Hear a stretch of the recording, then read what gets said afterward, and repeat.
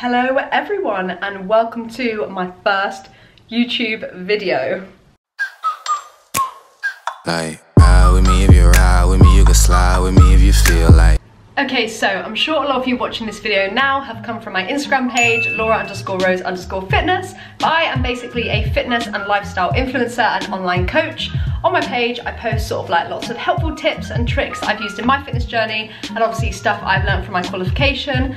I also post quite a lot about my new Frenchie Roxy. I'm actually gonna grab her now because she's so cute. So this is Roxy. She is an 11 week old French Bulldog and we got her literally two weeks ago. She does not like being held, so I'm gonna put her down because we don't want her to get angry. Go on then. So if you do want to follow me on Instagram, go ahead and do that now. I have literally been wanting to make a YouTube for ages. I don't really know what stopped me. I think deep down it was sort of like a nerve-wracking thing. I was like, does anyone care? Is anyone gonna watch the videos?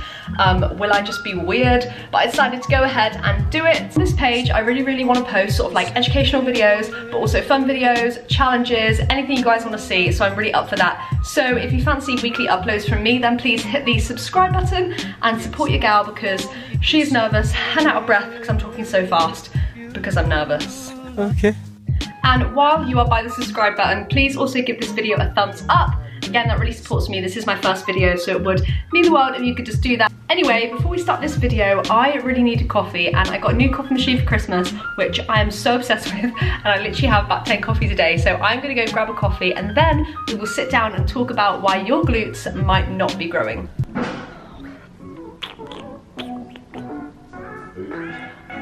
Ah, big ones.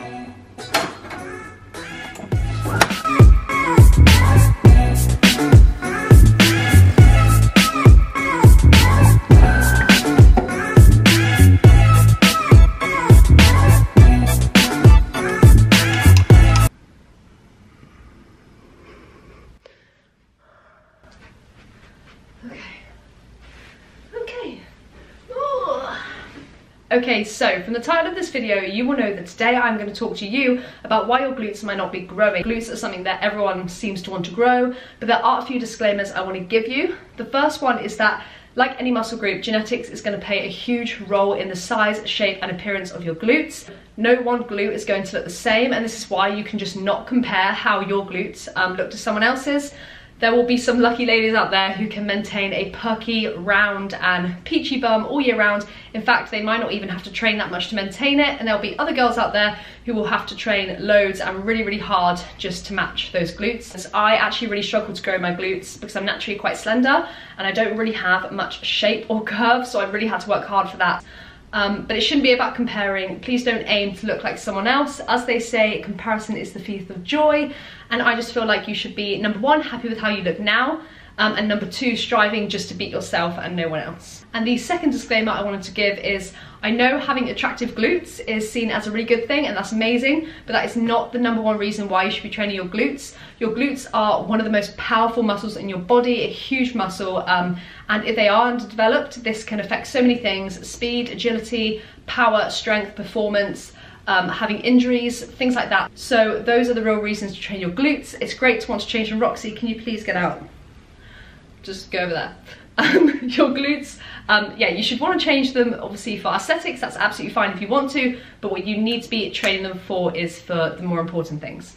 Okay, so number one, why your glutes aren't growing is that you're not eating enough. So the reason I've chosen to do nutrition before any of my gym or training tips is that I think nutrition is something that a lot of people, especially women, um, forget about. They don't realize how important nutrition is for muscle growth and just general functioning of the body. Um, sadly, a lot of women who come to me, especially clients, tend to be under eating massively. They want to get this toned physique, so they think, right, I'm going to cut all my calories and that is the way to go. Guess what? This leaves them with no muscle growth and no energy. In order to grow your glutes, you need to be eating enough. So all of us will have um, a maintenance calories. This is how many calories you need to eat a day to maintain your current weight. And we can either eat at this, above this, or below this. So eating below this is called a calorie deficit and that is going to make you lose weight because you're burning more energy um, than you're consuming. This is great if, for example, you're overweight and you want to lose a bit of weight or if you've um, done a big bulking stage and you've gained all this muscle and now you want to shred off the fat. But if you want to grow your glutes, you need to be eating in a calorie surplus. So this is more food. So this will be um, a little bit more above your maintenance. You can find out your maintenance calories online. On Google, there's just like loads of um, calculators and all you have to do is put like your age, your height, your weight, your activity level, uh, level activity level um, and your gender. So now that you've calculated what your maintenance calories are and decided that you need to be in a surplus, you need to set down some macronutrient ratios. So macronutrients are actually more important when trying to gain muscle than calories. I would not really focus on calories at all. I would just focus on the amount of fats, the amount of protein and the amount of carbs you're eating a day. In terms of ratio, it is really dependent on the individual, but as a rough guide, I would say you want to be eating about 1 to 1.2 grams of protein per pound of body weight. Uh, for fat, I would set these at about 20 to 30% of your um, whole calorie intake, and then I'd fill the rest with carbs. Obviously, you want to be prioritizing protein. Protein is really, really important for muscle growth and repair. Um, you can try and get most of this through dietary protein, but if not, it's definitely okay to supplement. I supplement every day uh, with Myprotein Clear Whey. I actually do work with Myprotein. I have a discount code. I'm going to plug this now. Laura Rose, which gets you 37% off supplements. I could not recommend these supplements more. I use them every single day. The Clear Whey especially is absolutely amazing. It's 20 grams of protein per serving and it literally tastes like squash. So yeah, if you want to do any of that, please support me and use my code. Hey guys, so I'm just editing and I realised that I gave a really, really brief explanation of that. Um, and obviously some of you might be new to starting out in the gym. So if you do want me to make a video on how to calculate your macros or how to eat for a certain goal, then please let me know in the comments down below and I'm more than happy to do that for you. So the second reason why your glutes aren't growing is because you're not choosing the right exercises or training systems. I would say that probably 80% of my female clients come to me saying, Laura, I can't grow my glutes. I've been trying to do it for ages. I'm not gaining any muscle, help, what do I do? And the first thing I turn around to them and I say, okay, give me your training history, tell me what your split is in the gym and what exercises you're doing. A lot of them say um, that they're doing bodyweight exercises, HIIT classes, things they've seen on Instagram, all of these crazy moves. But I'm sorry to break it to you ladies, banded glute exercises and HIIT classes aren't going to grow your glutes. What's going to grow your glutes is by doing compound exercises that you can progressively overload on with a mixture of glute isolation exercises. Doing banded exercises simply just does not create enough tension for them to grow. Um, it doesn't provide enough stimulus and in order to grow this muscle and to really force it to adapt, you need to be smashing it with some heavy, heavy weights. Um, so progressive overload is something that I'm actually going to get to in my next point, but for now I'm just going to introduce you to some of the exercises you should be doing. The number one exercise you need to be doing is the barbell hip thrust few exercises compared to the barbell hip thrust when it comes to growing your glutes. The barbell hip thrust is not just beneficial for power, strength and hip mobility, but it's really, really good for hypertrophy, literally growing muscle, which is exactly what we want to be doing. The hip thrust will fire up and target not just your glutes, um, but your quads and your hammies. This exercise can be quite hard to do. When I first started doing hip thrusts, I just found them so uncomfortable. I was like, how can anyone do this? I would literally see people in the gym doing them and I'd be like, why am I dumb? Um, but it comes with time and it comes with practice. You just want to make sure that you're not making some easy mistakes, which I also see in the gym. Um, hyperextending at the top or rounding your back at the top of the movement is one of them I see. Please don't do that, that's gonna be really bad. Um, you need to really control your reps. If you can't stay at the top for at least one second, I would probably say to lower the weight. You don't wanna be an ego lifter, good form is always more important and don't waste the reps by doing it with bad form because it's not gonna grow your glutes, um, yeah. So the second exercise that I would love you to try out is Romanian deadlifts. So Romanian deadlifts are much better for the glutes and hamstrings than conventional deadlifts. Um, this is mainly because of the straight leg element and the hip hinge. This exercise is probably optimal using a barbell and bumper plates um, like the hip thrust, but you can also perform them with dumbbells, kettlebells, or even bands. So there are loads of other exercises which I really want to go through. I'm not going to go through them in as much detail as I did for the hip thrust and the Romanian deadlift because I don't want to keep you here all day. Squats are amazing for um, growing your glutes, your hamstrings and your quads. They're literally an all-round um, compound exercise. You can make these more glute dominant by um, doing variations of them. So for example, um, wide stance split squats, they're really good for the glutes. Um, you can do goblet squats, eccentric squats, pulse squat, Smith machine squats, there really is no limit to squat. Lunges are also amazing. I find reverse lunges are really good. Using the cables can be absolutely amazing for glutes. I absolutely love um, cable pull throughs. Again, this really works your posterior chains. That's all the muscles in the back of your body. This one is amazing. It's quite a hard technique, um, but once you master it, it is amazing. And it's honestly one of the most underrated glute growers ever growers, builders ever. So the third reason why your glutes aren't growing is kind of similar to number two, but it may be that you're not progressively overloading. If you're looking to change the shape and size of your glutes, then you need to be challenging yourselves every single week in your workout. Progressive overload simply means that you're doing more over time. This can apply to weight and reps, um, doing more sets, even being able to have less rest time or just perfecting your form basically any way that you're really improving your workout. But the main thing that I want to focus on today is pushing weight. So skeletal muscle grows bigger and stronger in relation to training stimulus. So basically with progressive overload we're wanting to be forcing the muscles to be doing more than they're accustomed to. And this is going to create an adaptation which will be muscle growth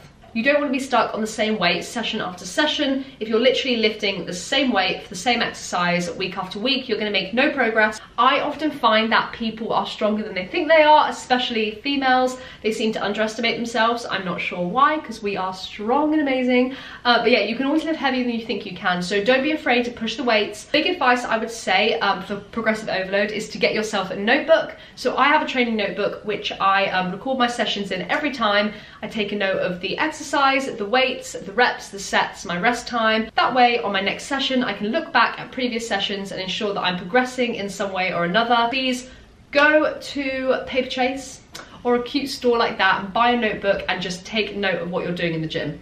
Increasing the training frequency can also be a good tool too. So I actually train lower body three times a week. Um, two of these tend to be more glute dominant days and one of them is quads um, but two to three times a week would probably be enough. Before moving on to the next point, I actually want to quickly discuss um, a training system which is really, really useful for growing um, any muscle in your body, but particularly your glutes. I mentioned it before, this is time under tension. So as I said, when you put a muscle under stress, it is forced to adapt and time under tension is the best way to do this. So time under tension is literally what it says on the tin. It's putting your muscle under a lot of tension for as long as possible. So this is often done through tempo of exercises. So um, mainly in the eccentric phase of the movement. So this is where the muscle is lengthening. So for example, in a straight leg deadlift, um, when you're bringing the bar down, if you do this with a slow tempo, maybe of about three seconds, this is really, really gonna create a huge amount of tension on your hammies. So yeah, utilize tempo when you can. So number four as to why your glutes are not growing. So we've already gone over nutrition,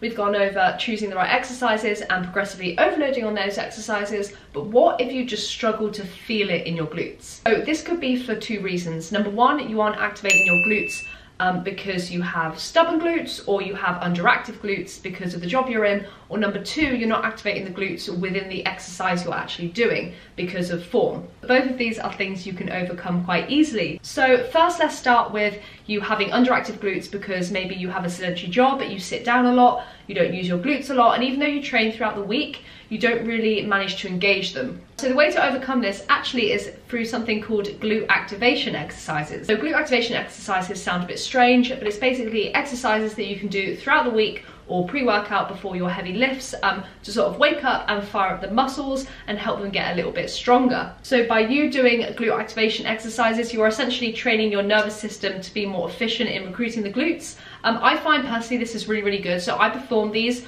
um, at the beginning of my glute days before I do my heavy lifts and I find so much more engagement and I find I can really fire up my glutes. So some example of glute activation exercises could be a lying banded glute bridge, um, frog pumps, banded lateral walks, banded squats. Using the resistance bands here are really, really useful. Um, and I find that if I do like three sets of 12 of these, um, I can really fire up the glutes. You want your glutes to literally feel on fire before you've even started the exercise and then you'll find when you do your first exercise that you'll feel really, really engaged. Glute activation is just a game changer and really changed up the game for me. So please, please, please give those a go. So just before I mentioned that there was also another reason why you're not activating your glutes, this is because of form.